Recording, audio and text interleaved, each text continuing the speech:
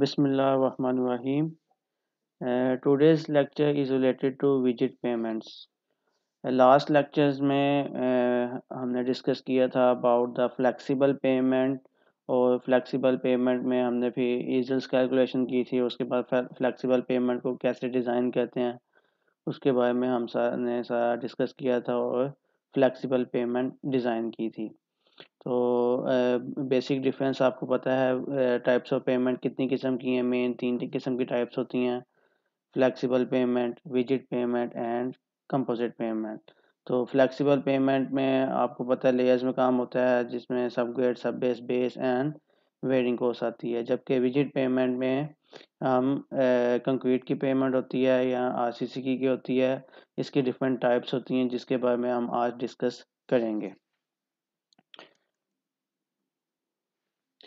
Visit pavement को हम concrete payment भी कहते हैं। Concrete pavements often called rigid pavements are made up of Portland cement concrete it may or may not have base course between the sub subgrade and the concrete surface base course are often called subbase courses when use with rigid pavements and are utilized under this pavements for several reasons control of pumping, control of frost action, drainage, control of shrinkage, and swell of subgrade. So rigid pavement basically आपको पता है visit payment हमारे हमारे पास होती है concrete की जिसमें हम स्लैब देते हैं अब इसमें uh, हम बेस कोर्स और सब बेस कोर्स का कोई ताल्लुक नहीं होता आपके लोड को ट्रांसफरिंग करने के लिए। विज़िट पेमेंट में सारा का सारा जो लोड होता है, वो आपकी स्लैब बर्दाश्त करती है। और स्लैब आपको पता है यूटीएल की तरह पूरी स्लैब पे आपका लोड डिस्ट्रीब्यूट होता है। नीचे सब बेस सब सब ग्रेड या बेस कोर्स हम दें या ना दें, उसका लोडिंग से कोई ताल्लुक नहीं होता। अब सवाल ये है कि हम बेस कोर्स या सब बेस कोर्स को अपने विज़िट पेमेंट में क्यों देते हैं और उसका रीज़न क्या होती है? अगर हम अपनी विज़िट पेमेंट में सब बेस या बेस कोर्स को की एक लेयर दें तो उसकी डिफरेंट रीज़न्स हैं जो उसने नीचे आपको बताई हैं। बेसिकली चार मेन रीज़न्स हैं जिसकी बेस में हम सब, अपने सब बेस या बेस कोर्स को देते हैं। अगर हमारी सब ग्रेड भी इतनी अच्छी नहीं है तो फिर भी विज़िट पेमेंट में क्योंकि आपका जो लोड है, वो आपकी स्लैब के थ्रू स्लैब पे ही जस्ट आपका लोड डिस्ट्रीब्यूट होता है और स्लैब पे ही सारा कंक्रीट पे लोड आता है। नीचे के उस लोड का कोई ताल्लुक नहीं होता आपकी सब ग्रेड पे सब बेस पे या बेस कोर्स पे। अब सब बेस या बेस कोर्स देने का मत रीज़न क्या है?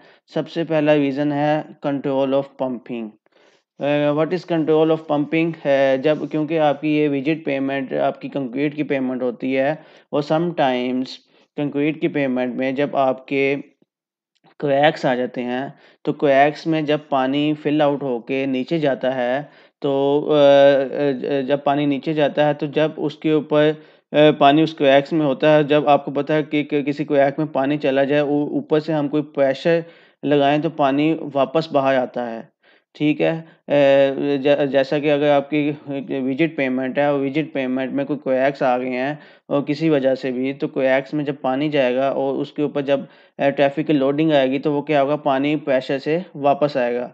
इसकी जो मिसाल ये है कि पंपिंग की मिसाल कि आप देखते हैं कि जो कोई चश्मा वगैरह होता है पहाड़ों में तो उस वो भी पहाड़ में कोई कोयक आता है तो उसके ऊपर जब लोडिंग आती है तो वो एकदम प्रेशर प्रेशर से आपका वाटर उस कोयक से बाहर निकलता है या उस सुराख से बाहर निकलता है।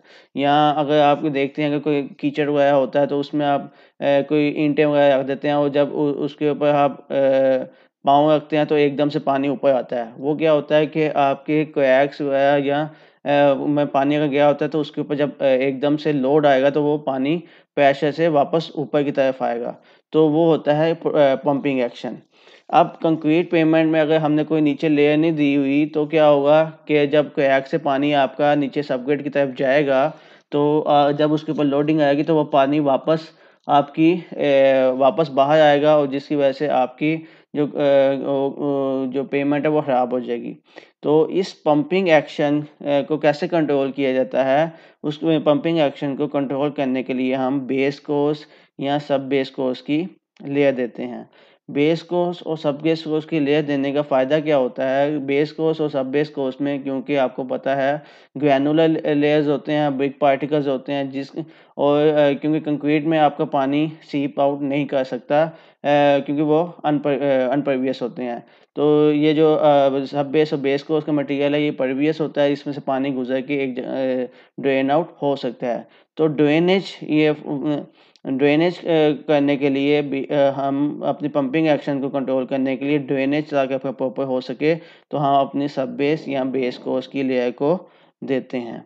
और तीसरा फैक्टर क्या? है फ्रोस्ट एक्शन, जिसे हम फ्रीज एंड थॉ का एक्शन भी कहते हैं। कंक्रीट में भी आप अपने आर सी सी दूसरे सब्जेक्ट्स में, कंक्रीट के सब्जेक्ट्स में इसको पढ़ के आए होंगे कि व्हाट इज़ फ्रोस्ट एक्शन तो frost action freeze and thaw का एक्शन होता है जिसको आपको पता है कि सर्दियों में पानी आपका जम जाता है और गर्मियों में आपका पिघलता है, जिसकी वजह से स्वेलिंग हो जाती है और स्वेलिंग होने से स्वेलिंग की वजह से आपकी पेमेंट कमज़ोर हो सकती है, उसमें क्रैक्स आ सकते हैं। तो इस फ्रोस्ट एक्शन को कंट्रोल करने के लिए भी हम अपनी सब बेस या बेस को उसकी ले देते हैं। और चौथे नंबर पे आता है आपका control of shrink and swell of subgrade कि आपकी जो सबग्रेड है सबग्रेड की जो मटेरियल है वो ज़्यादा ड्राई या श्रिंक हो गई है या उसमें स्वेलिंग आ गई है तो उसको भी कैसे कंट्रोल किया जा सकता है कि हम एक एक्स्ट्रा लेयर दे देते हैं सब बेस की या बेस को उसकी ताकि आपकी ऊपर वाली स्लैब पे कोई इफ़ेक्ट ना आ सके और आपकी विज़िट पेमेंट पे कोई इफ़ेक्ट ना आ सके। तो बे ए, ए, इस स्लाइड में सबसे मेन जो चीज़ है वो ये है कि विज़िट पेमेंट आपकी कंक्रीट की पेमेंट होती है और विज़िट पेमेंट का सारा लोड आपकी कंक्रीट की पेमेंट बर्दाश्त करती है और कंक्रीट की पेमेंट बर्दाश्त करती है तो उसमें समटाइम्स हम नीचे सब बेस या बेस कोर्स देते हैं समटाइम्स नहीं देते। तो हम सब बेस और बेस कोर्स कब देते हैं कि अगर हमने हमें पता है कि अगर सब बेस और बेस को की लेयर दी होगी तो हमारा, हमारी चार चीज़ें कंट्रोल हो सकती हैं। उससे ये पंपिंग एक्शन कंट्रोल हो सकता है और फ्रोस्ट एक्शन कंट्रोल हो सकता है ड्रेनेज कंट्रोल हो सकता है और shrink and swell of subgrade control हो सकता है। ये इन सारी चीज़ों की वजह से आपकी जो रिजिट पेमेंट की आपकी जो स्लैब है वो बच सकती है और उसमें हुआ है जो पानी हुआ है, वो पंपिंग हुआ है, उस पर कंट्रोल कर सकते हैं। क्योंकि फ्लेक्सिबल पेमेंट में आपका जो लोड होता है, वो आपका पार्टिकल टू पार्टिकल सब लेयर्स पे डिस्ट्रीब्यूट होता है, जबकि विज़िट पेमेंट पे आपका लोड जस्ट स्लैब पे डिस्ट्रीब्यूट होता है तो इस स्लैब को बचाने के लिए हम नीचे ड्रेनेज करने के लिए अपनी सब बेस या बेस को उसकी एक एक्स्ट्रा लेयर देते हैं, ताकि ये चार चीज़ें हम इसको कंट्रोल कर सकें। आई होप ये आपको समझ आ गया होगा स्लाइड में। नेक्स्ट इज़ को सेक्शन ऑफ़ विज़िट पेमेंट तो नीचे आप देख रहे हैं कि सबग्रेड है एग्जिस्टिंग सोइल सब बेस है इफ़ नीडेड या बेस कोर्स है नॉन एरोसिव और कंक्रीट स्लैब है। और इस विज़िट पेमेंट में क्योंकि कंक्रीट की पेमेंट होती है तो हम इसमें डिफरेंट ज्वाइंट्स प्रोवाइड करते हैं। सो so, इन ज्वाइंट्स को हम डिटेल में अभी डिस्कस करते हैं। बाद में The load is transmitted to uh, through beam action of slab in rigid payments. The concrete payment, because of its rigidity and high modulus of elasticity, tends to distribute the applied load over a relatively wide area of soil. Thus, the major portion of the structural capacity is uh, supplied by the slab itself. Basically जो load distribute होता है, आपका visit pavement में, वो beam action जो जैसे slab में होता है सेम वैसे ही होता है। इस स्लाइड में आपको पता लग जाएगा, जब हम अपना, हमारा जो लोड है, वो हमारी स्लैब के ऊपर जब लोड आएगा तो लोड आने की वजह से क्या होगा कि आपका जो ऊपर वाला एक्सिस है, जो आप देख रहे हैं ऊपर, आपकी कंप्रेसिव स्ट्रेसेस प्रोड्यूस होंगी। ये और न्यूट्रल एक्सिस के नीचे आपकी टेंजाइल स्ट्रेसेस प्रोड्यूस होंगी। क्योंकि जब लोड जाएगा लोड जाएगा तो लोड आएगा इसके ऊपर तो ऊपर आपकी कंप्रेसिव स्ट्रेसेस आ जाएँगी और नीचे आपकी बेंडिंग से टेंजाइल स्ट्रेसेस आ जाएँगी। क्योंकि आपकी जो कंक्रीट होती है, वो वीक इन टेंशन होती हैं तो उस टेंशन को कंट्रोल करने के लिए हम अपनी जो विज़िट पेमेंट है, उसको नीचे न्यूट्रल एक्सिस से नीचे वाले पार्ट में हम रीइंफोर्समेंट प्रोवाइड करते हैं ताकि आपके क्रैक्स वगैरह जो उसकी क्योंकि आपकी विज़िट कंक्रीट पेमेंट आपकी टेंजाइल उसकी टेंजाइल में वीक होती है तो उस टेंजाइल को कंट्रोल करने के लिए हम उसके नीचे वाले पार्ट पे भी इन्फोर्समेंट प्रोवाइड करते हैं। नीड ऑफ़ विज़िट पेमेंट्स अब सवाल है कि हमें विज़िट पेमेंट बनाने की ज़रूरत क्यों पड़ती है? या हम विज़िट पेमेंट को क्यों बनाते हैं? Rigid pavements are usually provided under the circumstances heavy load traffic heavy very heavy rainfall poor soil conditions poor drainage extreme climate conditions some of these conditions which may lead, uh, lead to development of cracks in the payment. So rigid pavement को flexible pavement को हम ज़्यादा prefer करते हैं but sometimes हमें rigid pavement बनानी पड़ती है। फ्लेक्सिबल पेमेंट बेसिकली वो, उसकी इनिशियल कॉस्ट कम होती है, जबकि विज़िट पेमेंट की जो इनिशियल कॉस्ट है, वो बहुत ज़्यादा होती है। तो इन फैक्टर्स को देखते हुए हम अपनी फ्लेक्सिबल पेमेंट पे विज़िट पेमेंट को प्रेफर करते हैं। तो पहला फैक्टर है हमारे पास हैवी लोडेड ट्रैफ़िक तो heavy loaded traffic basic normally जो स्टूडेंट्स या आम लोग कहते हैं जी विज़िट पेमेंट आपकी हैवी ट्रैफ़िक लोडिंग को बर्दाश्त करती है और हम प्रेफर करते हैं हैवी ट्रैफ़िक लोडिंग को, के लिए विज़िट पेमेंट को। इसमें एक चीज़ ये है कि हम फ्लेक्सिबल पेमेंट में भी हैवी लोडिंग दे सकते हैं और उस पर डिज़ाइन कर सकते हैं। मगर हम उस पर फिर फ्लेक्सिबल पेमेंट को ज़्यादा प्रेफर क्यों नहीं करते? उसकी रीज़न ये है कि फ्लेक्सिबल पेमेंट में जब हम हैवी लोडिंग ट्रैफ़िक को डिज़ाइन करते हैं वो, तो डिज़ाइन तो हो जाएगी और रोड भी बन जाएगी और हैवी लोडिंग भी उस पर चल जाएगी। तो बट उसका नुकसान ये होता है कि जो फ्लेक्सिबल पेमेंट है, उसमें हैवी लोडिंग की वजह से डिस्ट्रेसेस बहुत ज़्यादा आती हैं और डिस्ट्रेसेस बहुत ज़्यादा आने की वजह से वो उसकी मेंटेनेंस करनी पड़ती है पेरियोडिकली मतलब बार बार उसकी मेंटेनेंस करनी पड़ती है, जिससे आपकी कॉस्ट बहुत ज़्यादा हाई हो जाती है। तो बार बार आपकी जो डिस्ट्रेसेस या डैमेजिंग की वजह से आपको उसकी मेंटेनेंस करने की ज़रूरत पड़ती है तो उस चीज़ से बचने के लिए भी हम विज़िट पेमेंट को प्रेफर करते हैं ताकि विज़िट पेमेंट की इनिशियल कॉस्ट हाई होती है, बट उसकी मेंटेनेंस कॉस्ट बहुत ज़्यादा लो होती है और उसकी लाइफ बहुत ज़्यादा इंक्रीज हो जाती है तो जिसकी वजह से हम हैवी लोडिंग पे इसको प्रेफर करते हैं। तो इसमें कम्बिनेशन भी यूज़ होता है इस्लामाबाद एम टू मोटरवे है, जिसमें हमने विज़िट पेमेंट की एक लेन को डाल दिया for heavy loading traffics. Second is very heavy rainfall basically very heavy rainfall या फ्लडेड एरियाज़ जो होते हैं, उसमें आपको पता है कि फ्लेक्सिबल पेमेंट में जो पानी होता है, वो आपकी पेमेंट को सबसे ज़्यादा डैमेज करता है। क्योंकि जब पानी आता है और पानी ज़्यादा आता है फ्लड या रेनफॉल ज़्यादा होती है तो क्या होता है, आपकी जो पेमेंट की वेरिंग कोर्स है, उसके ऊपर जो बिचुमन की लेयर होती है बिचुमन की लेयर वो पानी की वजह से उस उसके बॉन्ड एग्रीगेट के साथ कम हो जाता है, या बॉन्ड ख़त्म होना शुरू होता है, जिसकी वजह से सेग्रीगेशन स्टार्ट हो जाती है। तो उन एरियाज़ जहाँ पे वेरी हैवी रेनफॉल होती है तो वहाँ पे भी हम फिर विज़िट पेमेंट को प्रेफर करते हैं। Next is poor soil conditions poor soil conditions basically Jin areas में सोइल कंडीशन बहुत ज़्यादा पुअर है और हमें पता है कि हमें या तो सोइल की फ्लेक्सिबल पेमेंट बनाने के लिए अपनी सोइल की रिप्लेसमेंट करनी पड़ेगी और अपनी कोस्ट रिप्लेसमेंट करने में हमें टाइम लग सकता है या ट्रांसपोर्टेशन की कॉस्ट भी लग सकती है।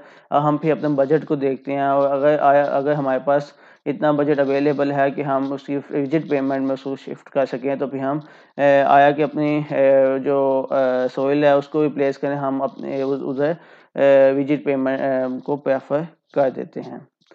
नेक्स्ट इज़ पुअर ड्रेनेज क्योंकि आपको पता है कि फ्लेक्सिबल पेमेंट में ड्रेनेज होना बहुत ज़्यादा ज़रूरी होता है।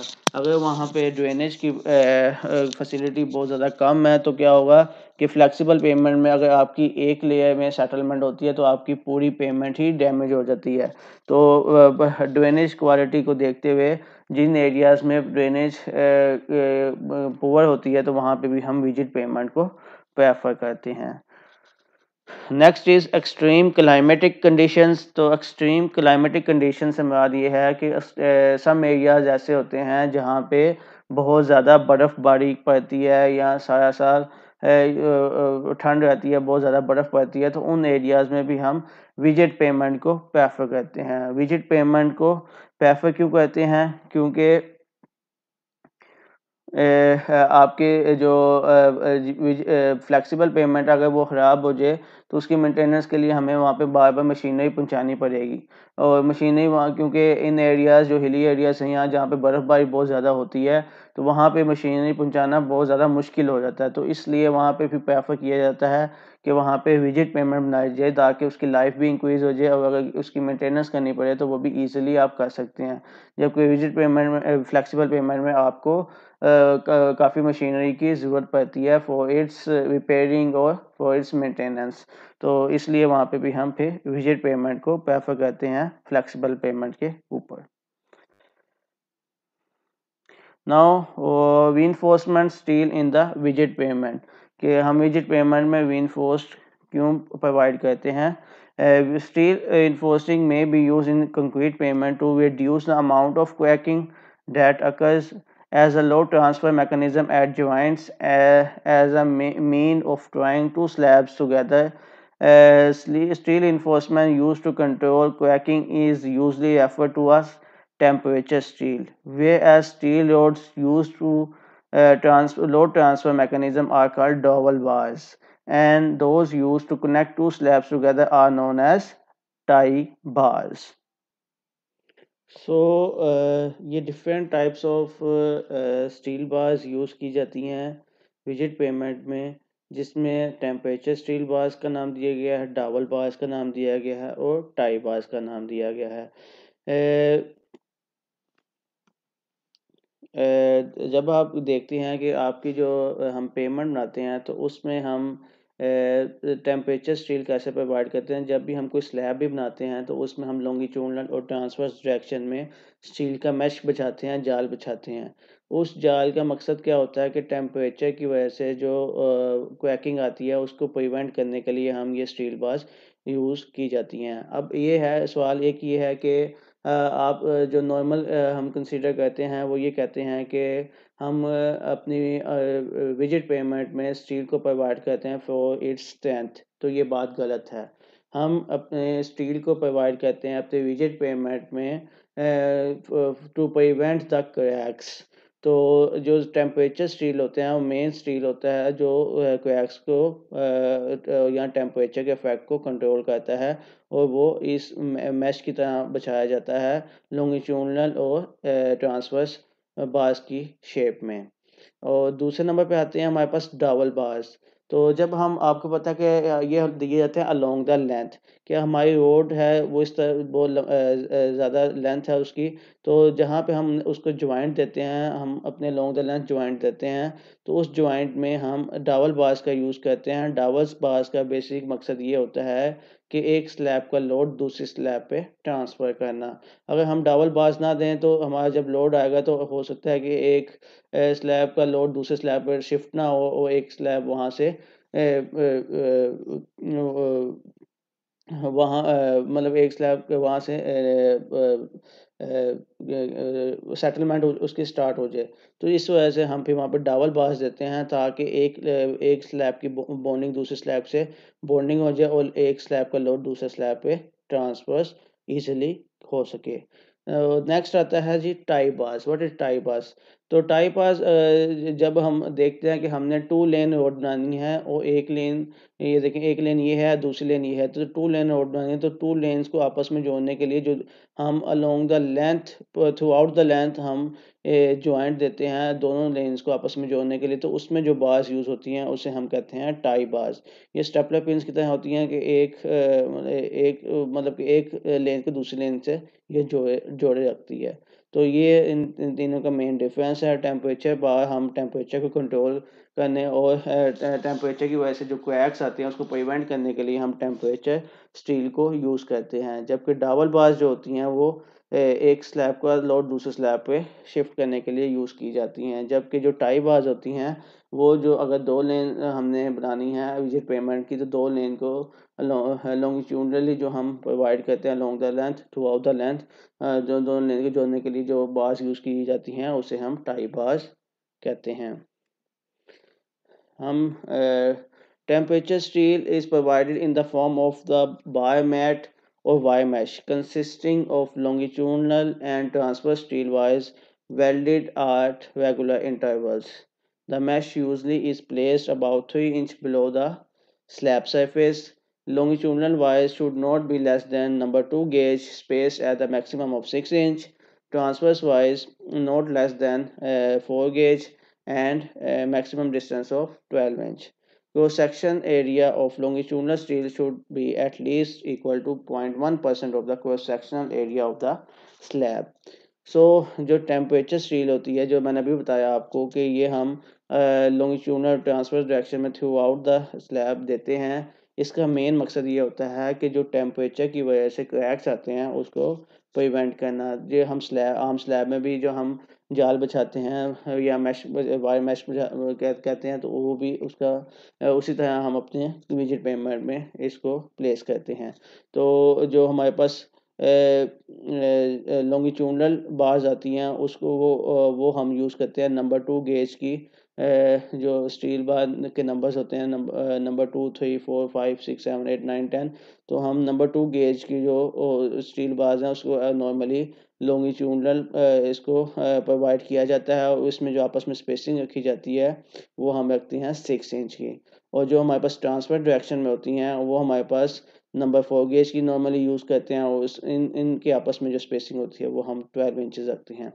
अब टेम्परेचर बेसिकली कैसे होता है कि समटाइम्स जब हम हमारी व्हीकल हमारी चलती है रोड पे तो उसमें फ्रिक्शन होती है आपके व्हील के और पेमेंट के दरमियान तो उसकी वजह से हीट प्रोड्यूस होती है।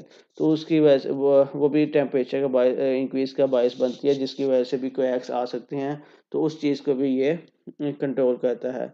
दूसरे नंबर पे ये होता है कि रात के टाइम क्योंकि आपका टेम्परेचर कम हो जाता है और दिन के टाइम आपका टेम्परेचर ज़्यादा होता है तो रात के टाइम क्या होता है कि आपकी जो स्टील होता है, वो ऊपर टेंशन में आता है नीचे कंप्रेशन में आता है जबकि डेढ़ के टाइम क्या होता है, ऊपर कंप्रेशन हो जाती है क्योंकि टेम्परेचर इंक्रीज होता है तो कंप्रेशन हो जाती है, जबकि नीचे वाली एक्सिस पे टेंशन हो जाती है। तो इन चीज़ों पे को कंट्रोल करने के लिए भी हम अपने टेम्परेचर स्टील को प्रोवाइड करते हैं ताकि जब ट्रैफ़िक गुजरे दिन के टाइम और रात के टाइम तो क्रैक्स वगैरह ना आ सकें इसमें। क्रैक्स को कंट्रोल करने के लिए भी हम अपने स्टील के बास को यूज़ करते हैं। So next uh, is double bars. Double bars are used mainly as load transfer mechanism across the joints. They provide flexural shearing and bearing resistance. The double bars must be a much larger diameter than a Y mesh used in the uh, temperature steel. Diameter of 1 to 1.5 inch and length of 2 to 3 feet have been used with the bars usually spaced at 1 feet centers uh, across the width of the slab. At least one end of the bar should be smooth and lubricated to facilitate free expansion. Basically double bars हम expansion joints वगैरह में ज़्यादातर देते हैं तो expansion joints क्या होता है वो मैं अभी डिस्कस करता हूँ डबल बार्स का अभी मैंने आपको एक मकसद बताया था कि एक जो मकसद मेन मकसद होता है उनका कि एक स्लैब का लोड दूसरे स्लैब पे ट्रांसफ़र करना ज्वाइंट के दरमियान में। अब ये क्या होता है कि ये देखें, आप इस पिक्चर में ये हमारे पास डबल बार्स दी गई हैं कि एक दो स्लैब्स के दरमियान में। अब डबल बार्स हम जो टेम्परेचर बार होती हैं, वो नॉर्मली हम देते हैं नंबर मैक्सिमम नंबर चार तक। जबकि जो डावल बाज है, उसका डायमीटर होता है एक से डेढ़ इंच। एक मतलब कि नंबर आठ से नंबर बारह इंच तक इसका इतना मोटा डाया होता है, जिसको हम देते हैं और अपने ज्वाइंट्स के दरमियान में। और इसकी जो लेंथ होती है, वो दो से तीन फुट होती है। मतलब कि दो से तीन फिट इसकी लेंथ होती है। डाया इसका नंबर आठ से नंबर बारह तक या एक से डेढ़ इंच तक होता है। और दरमियान में स्पेसिंग जो होती है, वो होती है हमारे पास एक फिट की। अब एक फिट की इसमें स्पेसिंग दी जाती है। और अब ये नीचे वाली आप डायग्राम में देखें तो ये इसकी एक साइड हमारे पास डिफॉर्म्ड बार्स की शेप में होती है। डिफॉर्म्ड बार्स को मतलब क्या होता है कि जिसके जिस बार के ऊपर विब्स हों ताकि बॉन्डिंग अच्छी बन सके। तो ये इसका को सेक्शन है। अब इसमें आप देखें कि ये डाबल बार है तो डाबल बार है तो इसमें, इस लैब में ये जो डाबल बार है, ये फिक्स है, इसके, ये डिफॉर्म बार है इधर तक जो कि ये इस स्लैब में फिक्स हो गई है। दरमियान में थोड़ी सी स्पेस दी जाती है और जो इस तरफ़ बार होती है, ये प्लेन बार होती है और इसमें उसने हमने बताया कि इस पर लुब्रिकेंट भी लगाया था और इसके ऊपर समटाइम्स पीवीसी का पाइप लगाया, ये देखें पीवीसी का पाइप लगाया जाता है और आगे से थोड़ी सी स्पेसिंग दी जाती है। इसको देने का मकसद ये होता है कि ये जो हमारे पास एक्सपेंशन जॉइंट देते हैं, हम टेम्परेचर कंट्रोल करके के जब टेम्परेचर कम या ज़्यादा होता है तो वो आपकी स्लैब एक्सपेंड करती है या श्रिंक करती है तो उसकी वजह से ज्वाइंट को में क्रैक्स ना आ सकें। तो इसकी वजह से भी एक एक हमारे स्लैब में ये फिक्स होता है, जबकि दूसरी स्लैब में हम इसमें थोड़ी सी स्पेस देती हैं फॉर टेम्परेचर कंट्रोल के आपका एक्सपेंशन और या कंट्रैक्शन को कंट्रोल कर सके। तो ये होता है हमारे पास double bars next is tie bars तो tie bars are use to tie two section of the pavement together and therefore they should be either deformed bars or should contain hooks to facilitate the bonding of two sections of the concrete and pavement with the bars. These bars are usually much smaller in diameter than the double bars and are spaced arranged center. Uh, typically diameter and spacing of these bars are 3 by 4 inch and 3 feet respectively. Basically जो tie bars हैं वो मैंने अभी आपको बताया जो tie बाज होती हैं वो हम देते हैं कि दो लेन रोड है तो दो, दो लेन रोड को आपस में ज्वाइन करने के लिए हम along the length throughout the length हम अपने टाई बास को देते हैं ताकि दो लेंस को आपस में जोड़ सकें। और ये जो इसका जो डाया ये डिफोन बास होती हैं डिफोन बास और इसके जो डायमीटर होता है वो थ्री बाई फोर इंच होता है और अलोंग द लाइन जो स्पेसिंग होती है वो थ्री फिट नॉर्मली दी जाती है। और इसकी हुक्स की फॉर्म में दी जाता है, जैसे हमारे पास स्टेपलर पिन होती हैं तो जिसकी दो लेग्स होती हैं तो हम क्या, ये क्या होता है कि एक लेग एक पेमेंट एक लाइन में और दूसरी दूस, दूसरी पेमेंट में होती है जिससे वो आपस में बॉन्डिंग बनती है बन जाती है दो लेंस की। तो इस डायग्राम में आप देखें कि ये अलोंग द लेंथ आपकी टाई बस डाली जाती हैं और तीन फिट इसकी दरमियान में स्पेसिंग रखी जाती है और एक हुक इस तरफ़, एक हुक इस तरफ़ होती है तो इसे हम कहते हैं टाई बास और दरमियान में जो स्टील मैश दिया जाता है, उसे हम स्टील बास कहते हैं और ज्वाइंट्स पे जो हम देते हैं, उसे लोंगी लोंगिट्यूडनल ज्वाइंट हो या कंट्रैक्शन ज्वाइंट हो तो हम उधर ट्रांसफ़र डायरेक्शन में जो ज्वाइंट देते हैं अलोंग द लेंथ उसमें हम जो बाज यूज़ करते हैं, उसे हम कहते हैं डावल बाज अब इस पिक्चर में देखें अब एक ये लेन हमारे पास बन गई है। आधा, आधी जो इसकी बाढ़ है, इस लेन में आधी इधर से बाहर निकली हुई है, इधर हम दूसरी लेन बना देंगे तो इस बास को हम कहते हैं टाई बास। तो ये तीन टाइप्स की विज़िट पेमेंट्स होती हैं, जो नॉर्मली यूज़ की जाती हैं। Jointed plain concrete pavement simply reinforced concrete pavement continuously reinforced concrete pavement what is the difference in these jointed plain concrete pavements में? इसमें आती है कि इसमें हम बिल्कुल अपनी जो reinforcement है, उसको यूज़ ही नहीं करते। जस्ट प्लेन कंक्रीट पेमेंट्स होती है। इसमें कोई स्टील बाज का इस्तेमाल नहीं किया जाता। दूसरे नंबर पे होती है सिंपली इनफोर्स कंक्रीट पेमेंट उसमें ये होता है कि हम प्रॉपर अपनी स्टील को यूज़ करते हैं और जॉइंट्स देते हैं प्रॉपर तरीके से। जबकि कॉन्टीन्यूस इनफोर्स कंक्रीट पेमेंट में हम क्योंकि जब हम ज्वाइंटेड प्लेन कंक्रीट पेमेंट देते हैं तो हमें बार बार अपनी कंक्रीट में ज्वाइंट्स देने पड़ते हैं, क्योंकि इसमें इन्फोर्समेंट का यूज़ नहीं होता। जबकि सिंपली इन्फोर्समेंट क्या होता है, जैसे हम उसमें स्टील का यूज़ करेंगे तो हमारी जो ज्वाइंट की स्पेसिंग है, वो इंक्रीज़ हो जाएगी। अगर वो जो दस फिट है तो यहाँ पे सौ फिट तक चला जाएगा तो ज्वाइंट की स्पेसिंग इंक्रीज़ हो जाएगी और हम यहाँ पे अपनी ज्वाइंट्स को देंगे। ज्वाइंट की स्पेसिंग हमारी इंक्रीज़ हो जाएगी। कॉन्टीन्यूस रीइंफोर्स कंक्रीट पेमेंट्स में ये होगा कि हम कॉन्टीन्यूस अपनी रीइंफोर्समेंट को यूज़ करेंगे और इसमें ज्वाइंट्स नहीं देंगे ज्वाइंट्स बस इसमें जो आएँगे कॉन्टीन्यूस रीइंफोर्समेंट कंक्रीट पेमेंट में, वो हमारे पास जो लाजमी ज्वाइंट्स होते हैं कंस्ट्रक्शन ज्वाइंट्स या एक्सपेंशन ज्वाइंट बस हम वो ही ज्वाइंट्स देंगे। जबकि इसमें हम प्रॉपर ज्वाइंट्स देंगे, अपने जो होंगे इन दोनों में डिफरेंस ये है कि जो फ़र्स्ट वाली है, उसमें हम वी इन्फोर्समेंट का यूज़ नहीं करेंगे, जिससे हमारे ज्वाइंट हमारे पास की स्पेसिंग बहुत ज़्यादा कम होगी। मतलब कि हर दस पंद्रह फीट या बीस फीट के बाद हम उतना ज्वाइंट देंगे। जबकि सिंपली इन्फोर्स कंक्रीट पेमेंट में क्या है कि हम, हमारी ज्वाइंट की स्पेसिंग है वो वो ज़्यादा हो जाएगी।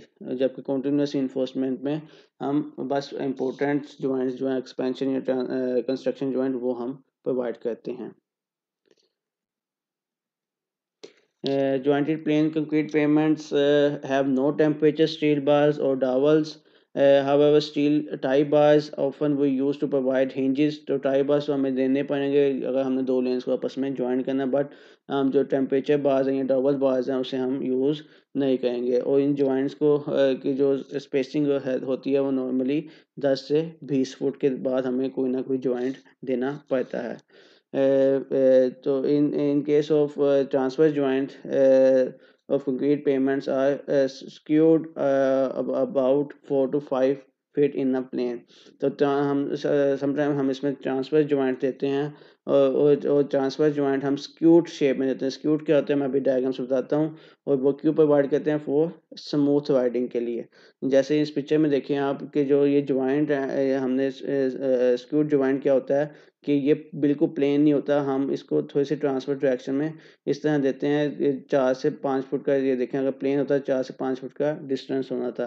तो हम इस डायरेक्शन में क्यों देते हैं? इस डायरेक्शन में इसलिए देते हैं कि अगर ये बिल्कुल स्ट्रेट हो तो आपकी वहीकल का जो व्हील होगा वो दोनों पार्ट्स में एक एक दफ़ा ही आएगा, जिससे क्वैक्स आ जाएँगे और एकदम से वो लोड पूरा आएगा और आपके ड्राइवर को भी अनकंफर्टेबल महसूस होगा। तो अगर ये इस ट्रांसवर्स डायरेक्शन में होंगे, थोड़ा सा इस तरह होंगे तो क्या होगा कि व्हील व्हीकल का व्हील जो होगा वो एक दफ़ा ही दोनों दोनों पे नहीं आएगा, वो एक एक पे आएगा, फिर दूसरे पे आएगा, जिससे राइडिंग कंफर्ट भी होगी और दूसरे नंबर पे जो आपकी क्वैक्स हैं, वो भी इतने ज़्यादा नहीं आएँगे।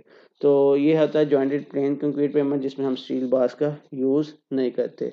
सेकंड नंबर पे आती है हमारे पास सिंपली इन्फोर्समेंट कंक्रीट पेमेंट्स जिसमें हम डावर्स का भी यूज़ करते हैं अपने ज्वाइंट्स में और स्टील मैश का भी यूज़ करते हैं। ये देखें, अब स्टील मैश का भी यूज़ किया गया और अब प्रॉपर जो हमारे पास एक्सपेंशन ज्वाइंट्स आते हैं जितने भी ज्वाइंट्स आते हैं, उसमें हम डबल बास का भी यूज़ करते हैं। Steel bars is use through of the slab with amount dependent on the length of the slab tie bars are also use commonly at the longitudinal joints ये देख रहे हैं आपके ये टाई बास दो लेंस को आपस में मिलाने के लिए यूज़ किए जा along the length longitudinal joint में और टेम्परेचर स्टील को यूज़ किया जा रहा है और हमारे जो ज्वाइंट्स आए हैं डबल बास उधर भी यूज़ की जाती हैं।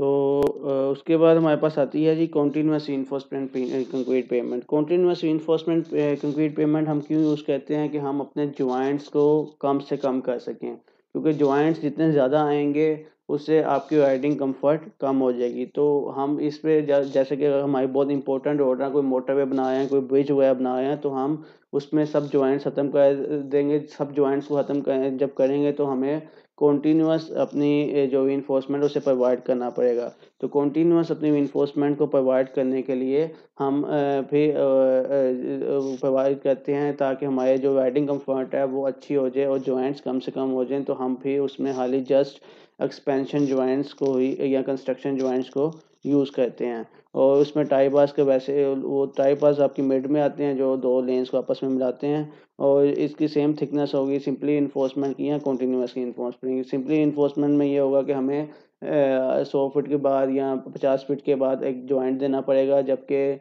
जो कॉन्टीन्यूस इन्फोर्समेंट होगी, उसमें ज्वाइंट्स कम हो जाएँगे। जस्ट हमारे पास एक्सपेंशन या कंस्ट्रक्शन ज्वाइंट आएँगे, और इससे हमारी राइटिंग क्वालिटी इम्प्रूव हो जाएगी। ये देखें आप, ये the steel is not counted on for load transfer ये इससे क्या होगा कि हमारी कॉन्टीन्यूस अगर वी इन्फोर्समेंट जा रही है तो हमारे पास जो नंबर ऑफ़ ज्वाइंट्स हैं, वो कम हो जाएगी और राइटिंग क्वालिटी हमारे पास ज़्यादा हो जाएगी। नेक्स्ट इज़ के कौन कौन से ज्वाइंट्स हम देते हैं अपनी कंक्रीट की पेमेंट में। और क्यों देते हैं? Different test types of joints are place in concrete pavements to limit the stress included the temperature changes and to facilitate proper bonding of two adjacent sections of pavement man there is a time lapse between their construction for example between the end of one day's work the beginning of the next day these joints are can be divided into four categories expansion joint construction joint contraction joint and hinge joints so, जो हमारे पास along the length हमारे पास joints आते हैं उसे हम ये जैसा कि मैं अभी आपको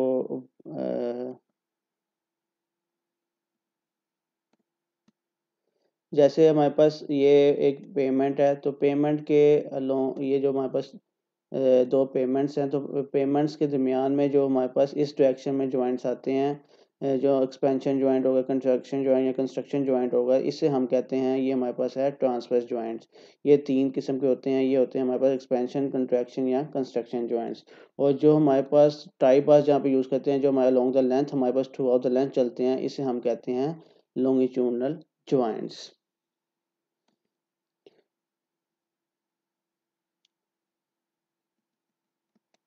इस पिक्चर में आप देख सकते हैं कि जो हमारे पास अलोंग द लेंथ जो जा रहे हैं दो जो लेंस को बनाने के लिए, ये हमारे पास लॉन्गिट्यूडनल ज्वाइंट्स हैं और ये जो ज्वाइंट्स आ रहे हैं, इसे हम कहते हैं ट्रांसवर्स ज्वाइंट्स ये हमारे पास कंस्ट्रक्शन ज्वाइंट भी हो सकता है एक्सपेंशन ज्वाइंट भी हो सकते हैं और कंट्रैक्शन ज्वाइंट भी हो सकता है।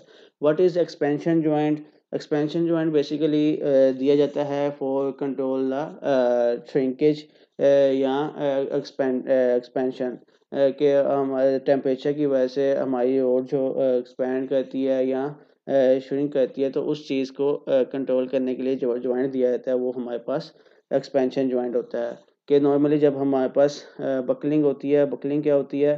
कि जब ये आपके पास रोड का सेक्शन है, जब टेम्परेचर इंक्रीज़ होगा तो ये बकल कर जाएगी। बकल करने से ये ऐसे बकलिंग हो जाएगी और ये इस चीज़ को ब्लो अप कहते हैं या बकलिंग कहते हैं। तो बकलिंग कर जाएगी तो जिसकी वजह से यहाँ पे कोएक्स जब लोडिंग आए तो कोएक्स वगैरह प्रोड्यूस हो सकते हैं। तो इस चीज़ को बचने के लिए हम अपने इधर स्पेसिंग प्रोवाइड करते हैं ताकि जो बकलिंग है वो ना हो, आपकी जो टेम्परेचर है उसे रोड बकल ना कर जाए। तो इसके लिए भी हम एक्सपेंशन ज्वाइंट्स को प्रोवाइड करते हैं। और एक्सपेंशन ज्वाइंट को प्रोवाइड करते हैं। और जैसे आप ब्रिजेस वगैरह में देखते हैं, ये हमारे पास एक्सपेंशन ज्वाइंट्स होते हैं, जिसमें हम एक, अभी मैंने आपको डबल बार से फिर समझाया था कि एक तरफ़ फिक्स होता है, दूसरी तरफ़ से हमने उसमें स्पेसिंग दी होती है ताकि टेम्परेचर की वजह से उसमें जो चेंजिंग आए वो उसमें कंट्रोल हो जाए। और उसके ऊपर भी हम ये लगा देते हैं रबर की मटेरियल की चीज़ें लगा देते हैं फैब्रिक फैब्रिक्स लगा देते हैं ताकि ये हम क्यों लगाते हैं कि नीचे स्पेसिंग हमारी वो सेम ही आती है, ऊपर हम ये चीज़ लगाते हैं ताकि हमारी जो वाइडिंग कंफर्ट है वो डिस्टर्ब ना हो वाइडिंग क्वालिटी हमारी पास सेम हमें जैक्स वगैरह महसूस ना हो। सेकंड नंबर पे आते हैं हमारे पास कंट्रैक्शन ज्वाइंट तो कंट्रैक्शन ज्वाइंट बेसिकली हम क्यों देते हैं? जो हमारे पास श्रिंकेज कंट्रोल के लिए श्रिंकेज वगैरह के लिए जो, की वजह से जो हमारे पास क्रैक्स आ जाते हैं उसको कंट्रोल करने के लिए हम कंट्रैक्शन ज्वाइंट्स को प्रोवाइड करते हैं। कंट्रैक्शन ज्वाइंट्स जब हम प्रोवाइड करते हैं तो ये देख रहे हैं आप, ये कंट्रैक्शन ज्वाइंट में हम ऊपर से इधर से थोड़ी सी स्पेस को ग्रूव्स बनाते हैं। और ये वन बाई फोर तक होती है। और ग्रू सा कट ज्वाइंट भी कहते हैं इसे और इसमें हम फिलर ऐड कर देते हैं ताकि जो श्रिंकेज की वजह से जो हमारे क्वैक्स हैं, वो क्वैक्स को इसको कंट्रोल किया जा सके। उसके बाद आता है हमारे पास कंस्ट्रक्शन ज्वाइंट तो कंस्ट्रक्शन ज्वाइंट क्योंकि आपको पता है जब मेगा प्रोजेक्ट चल रहे होते हैं तो काफ़ी ज़्यादा वजूहत आती हैं, जिसकी वजह से हमें काम को रोकना पड़ता है यहाँ समटाइम बारिश हो जाती है समटाइम्स लेबर छुट्टी हो है समटाइम्स ईद वगैरह आती है समटाइम्स ये होता है कि हमारे पास काफ़ी मेगा प्रोजेक्ट है तो सारी कंक्रीट एक टाइम पे नहीं हो सकती, हम उसको पार्ट्स में करते हैं। तो जब हम एक स्लैब कंक्रीट करते हैं तो उसके बाद जो हम ज्वाइंट देते हैं, क्योंकि उस बॉन्ड आपस में बॉन्ड बनाने के लिए हम उधर एक ज्वाइंट देते हैं, उस ज्वाइंट को हम कंस्ट्रक्शन ज्वाइंट कहते हैं। तो ये हम क्लास में काफ़ी डिटेल से इसको डिस्कस करेंगे। नेक्स्ट इज़ हमारे पास हिंज ज्वाइंट आते हैं। तो hinge joints mainly use to reduce crack along the centre line of the pavement और ये दो लेंस को आपस में ज्वाइंट करने और दो लेंस के दरमियान जो हमारे पास क्रैकिंग है, उसको रिड्यूस करने के लिए भी यूज़ किए जाते हैं। तो इसमें जो हम यूज़ करते हैं, वो हम टाई बार्स का इस्तेमाल किया जाता है। तो ये हमारे पास आप देख रहे हैं कि ये जो हम ज्वाइंट्स देते हैं। अगर हमारे पास कॉन्टीन्यूस इन्फोर्स हो तो ये ज्वाइंट्स कम हो जाएँगे। इसमें हाली एक्सपेंशन ज्वाइंट्स यहाँ कंस्ट्रक्शन ज्वाइंट्स आएँगे। और ये जो हमारे पास long the length longitudinal joints आते हैं, जिसमें हम टाई बार्स को यूज़ करते हैं, इसे हम हिंज ज्वाइंट्स कहते हैं। तो ये था आपका लेक्चर तो बाकी जो चीज़ें हैं, वो हम जूम मीटिंग में इंशाल्लाह डिस्कस करेंगे। तो इसको आप रीड आउट करें और जो क्वेश्चन आंसर्स होंगे वो हम जूम मीटिंग में डिस्कस करेंगे। Thank you